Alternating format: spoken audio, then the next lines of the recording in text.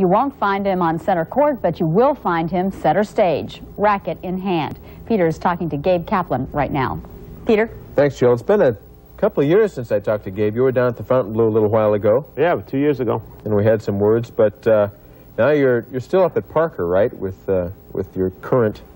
I'm at uh, Parker Playhouse doing doubles. Right. Joe Carcione won't be there. Why not?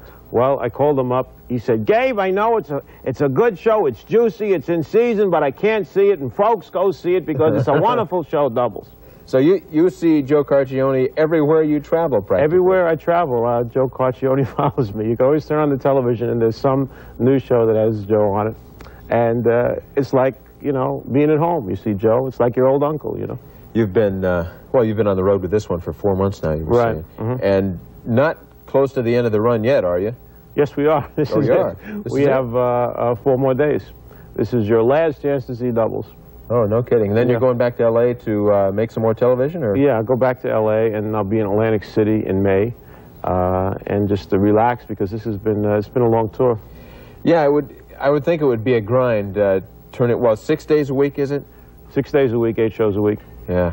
But, you know, it's, it's a funny show. It's something that I wanted to do. I had offers to do a lot of different plays in the past, and I really didn't want to do any except the play I did about Groucho Marx. But this is the second play I did, and it's such a, you know, a funny show and something that uh, I could relate to as uh, a character that I wanted to play because I never uh, played a bad guy. Mm-hmm. This guy is an aggressive, loudmouth, uh, you know, insulting type of person, and I never played anybody like that. So when when they when I read the play, I said I got to do this. Do you pick things up when you do theater like this that you can take back with you when you go to L.A. to try some some other uh, avenue in television?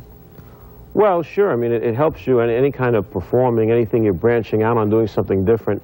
Uh, playing a guy like this, you know, uh, and you hope that uh, while you're on the road, different people see you and, and, you know, and get reports that you can do something, you know, because people tend to think of me as playing a nice guy, you not think, this type of guy. You think you might try and do a bad guy when you get back to California? I'd love to. I, I did, I remember once I did a police story where I played a crazy narc who was totally flipped out, but was successful in his job.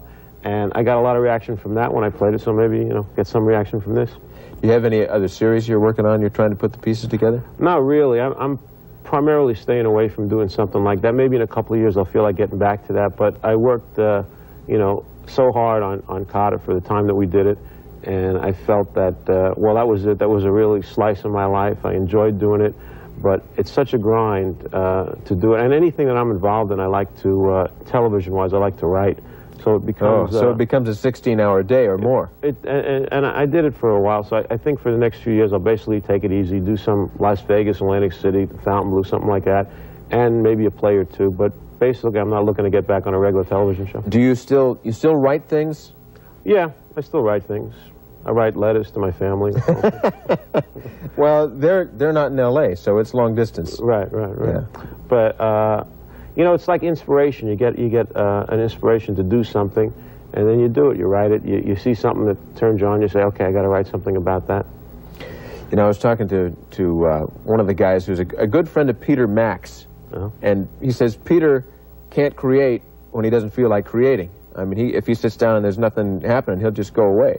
Is that pretty much the same way with you when you write? It is with me. I think with, with people who are successful writers, you have to. You have to make yourself create. I'm sure a lot of times uh, Woody Allen want to work on his next movie and not feel in the mood, but I'm sure he is disciplined enough, and Neil Simon, they're disciplined enough that they are writers and they just sit down and, and uh, you know, they, they do it, they, they hammer it out. But uh, I'm basically a performer. So uh, if I really get inspired, I do something. If not, I say, well, look, I'll go play tennis. do uh, do any of you guys, when uh, when you're doing doubles, there are four of you, right? Right. Uh, do you actually go out and play tennis to get in the mood for the show?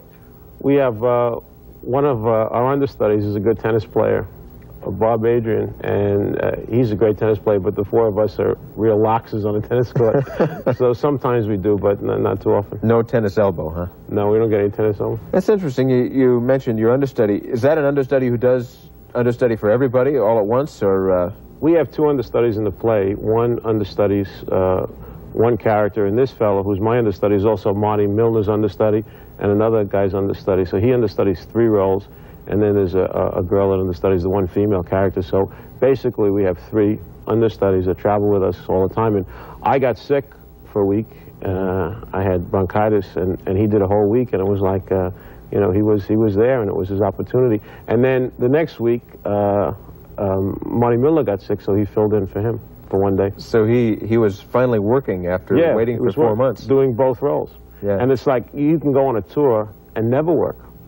Yeah. You know, you can just sit there every night hoping somebody breaks his leg, and, just, And, they, and it Uh, very rarely happens. and it very rarely happens. But this time he got to work. All right. Well, Gabe Kaplan, thanks for coming in. Thank you.